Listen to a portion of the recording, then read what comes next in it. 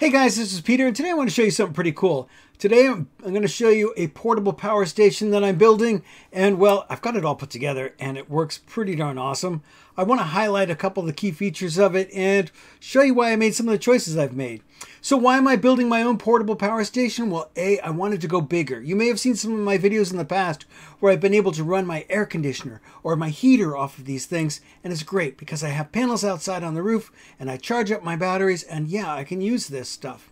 But I wanted to go bigger bigger than they were willing to go. So the biggest unit I had was actually 1440 watt hours. And you remember I'd run that with my uh, air conditioner. I had that video. It was great. Uh, but that would do 2,000 watts. I only needed 600, but that was a very capable device pretty expensive. For about the same amount of money, I can choose my own components. I can, well, some of them I actually had laying around from uh, previous projects. So it is an investment. It is, if you choose proper components, you can reutilize them in the future. And I'm going to do just that. So uh, there's a charger, that's an important component, and an inverter is another big component, and the battery, probably the most important of them all. And that's what we're going to talk about today. This one is from Vatrer, and it's a V A T R E R. It is a pretty cool company. They make a lot of batteries, not just the one. They make a ton of different batteries. They make them for RV applications. They make them for for marine applications. They make them for oh, and they're on sale right now. How convenient is that? But here I'm going to scroll down. They make them for golf cart applications, for RVs, for marine applications, even for home. Some really great ones. Look at that. Look at that home system they have.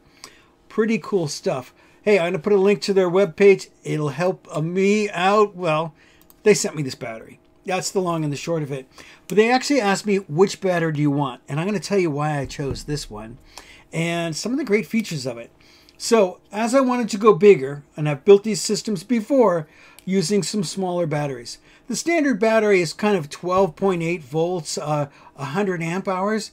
Well, that would be 1280 watt hours. So, I mean, that's pretty good. This battery is over 5,000, 5,120. Now, where am I getting these numbers? You simply multiply these two numbers together. 200 amp hours times 25.6 volts. 25.6 is exactly twice of 12.8. So basically, this is like two batteries together in series and then two more in parallel. This is an example of four batteries, but it's better than that.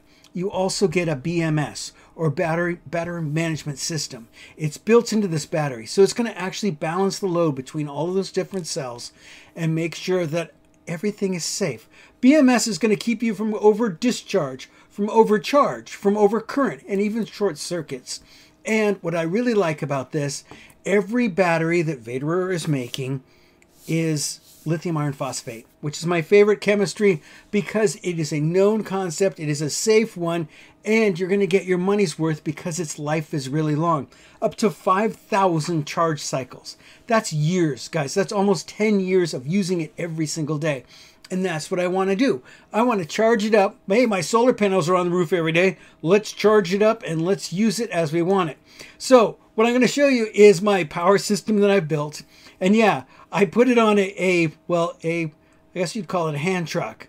so I bought a hand truck, screwed a board to it, and I did all this so that you could see all the different components and it's still portable. So uh, it is a big battery. This is about 85 pounds worth of battery. But it's just one simple connection and it's all managed. It even has its own app. I love that because then I could just interrogate it and take a look. Previously, if you had multiple batteries and you wanted to build a system like this, A, I would have needed four batteries. Would have been a lot more than this.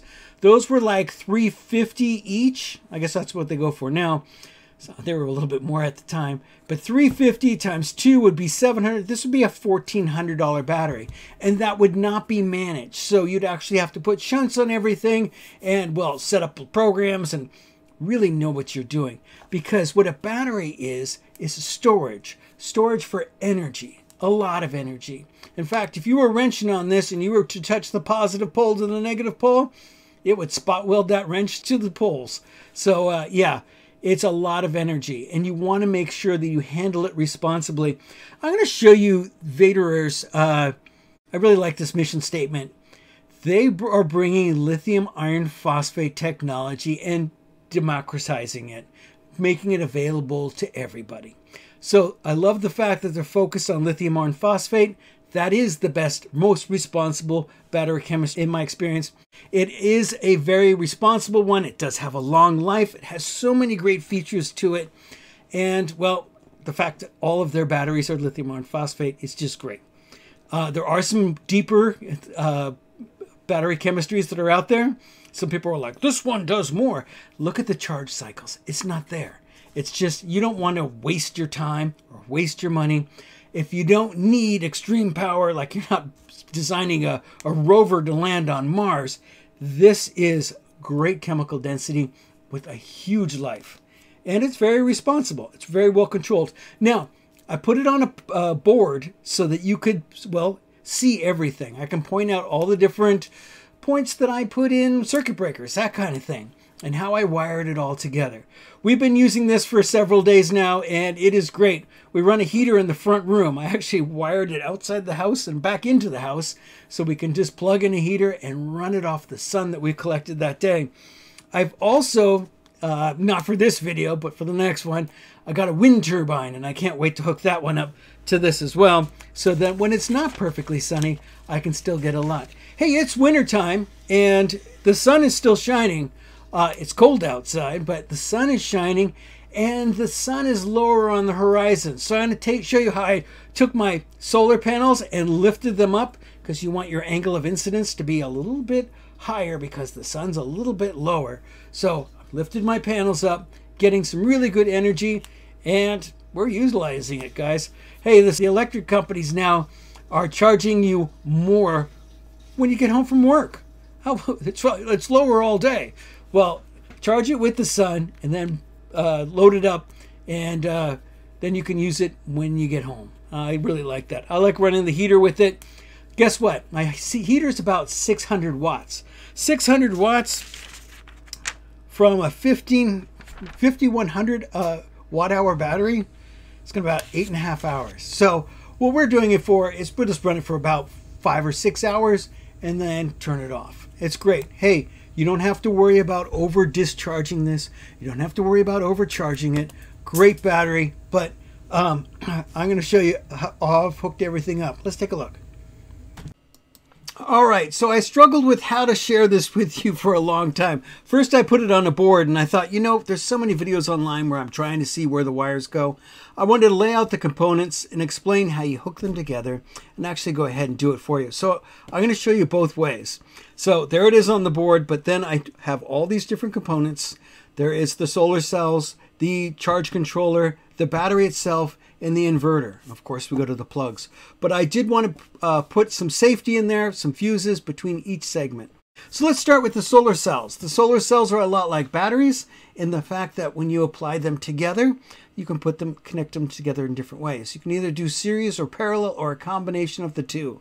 So here's what happens uh, when you take a single panel, which uh, single panel for me, there's a sticker on the back. It'll tell you what the voltage is and what the maximum current is. So mine are 26 and 10.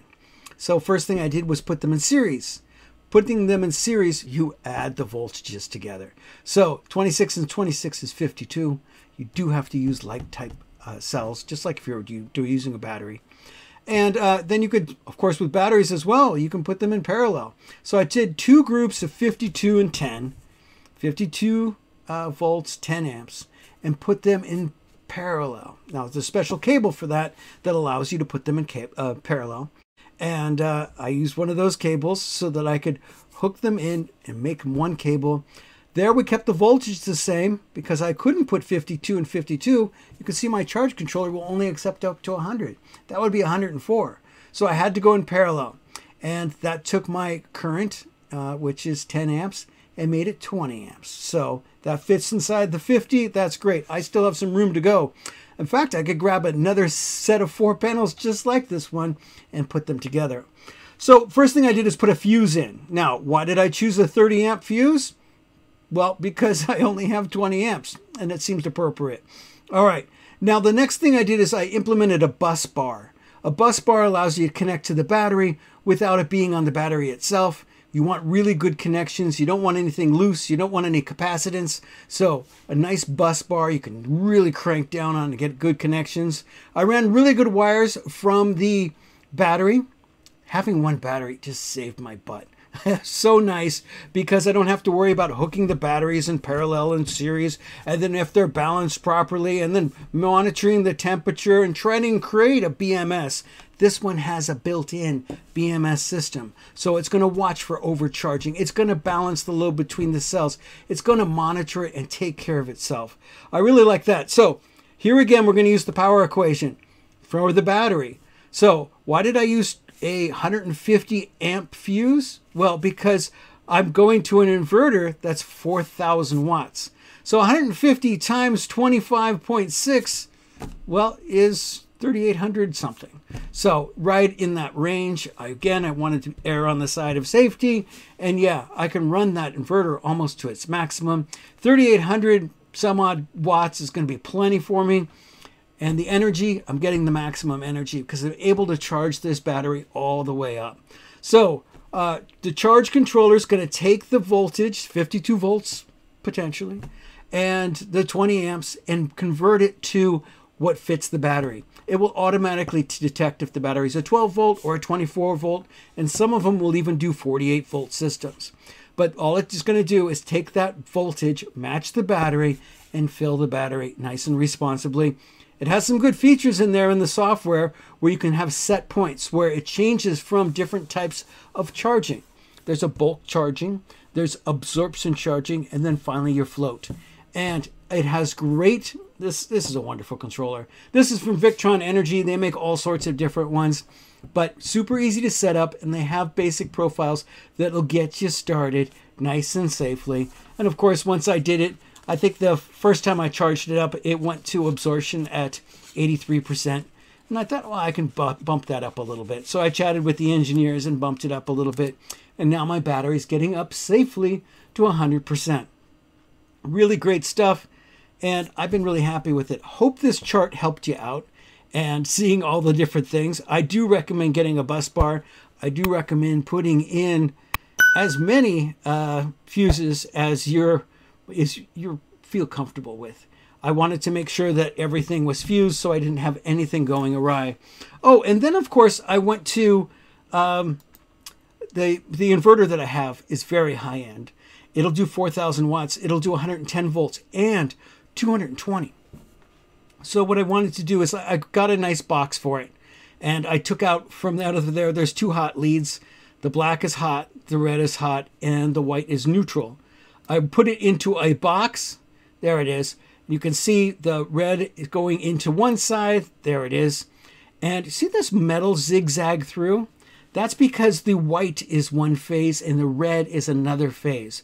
And if you get a special fuse uh, box or fuse puller and put it in there, it'll grab both poles. And there's your 220. It's two hot 110s. So let's see. We got the black is over on this side. I don't know if you could see it. The red is over on this side. And the white is your neutral bar. So there you go. I had to, I still need a ground bar. So I'm not officially grounded, but it is running quite nicely. And yeah, I can add all sorts of different fuses. And of course, you just reach down at the bottom of the fuse, loosen that screw and put your hot line there and uh, wire it to your favorite receptacle. There you go. So uh, I have 15 amps that I run my heater with. This one goes inside and I run the heater with it. This one goes right inside my garage so that I can use for things inside the garage. And these ones, this 20 amp fuse, TBD. It hasn't been officially uh, assigned anything yet, but there it goes. I'm ready to fill out this box and uh, ready to use my power. So one of the things I wanted to do with it is get a 220 amp fuse breaker. These things are cheap. They're they're 10 to 20 bucks. Slap that in there and be able to run a well pump, which is 220 volts. So this would enable a well pump to run in the event of a power outage for a long time. Ooh, and then I'm going to add a wind turbine to this. So when the sun's not going but the wind's moving, I'll be able to charge up the battery too. You know, in California where I live, it's mostly sunny, even though it's cold in the winter. So I still get good sun, but when it's not sunny, it's usually windy. There you go. Um, anyway, guys, hey, thanks so much for watching. If this helped out, do give it thumbs up. It's always appreciated. Leave comments down below.